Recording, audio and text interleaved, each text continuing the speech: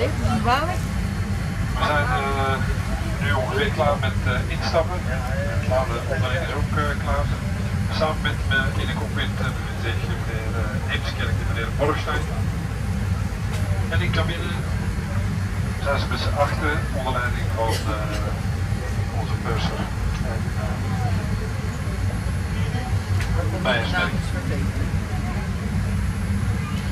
De route vandaag, wij vertrekken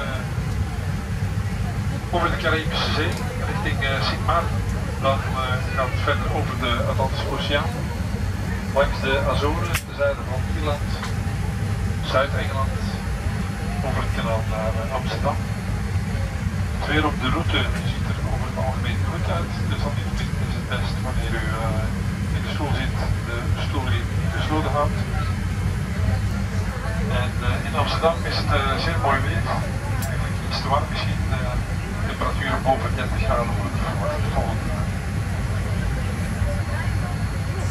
Ik wens u een uh, fijne vlucht en uh, de tijd kom ik nog bij u terug met de laatste info betreffende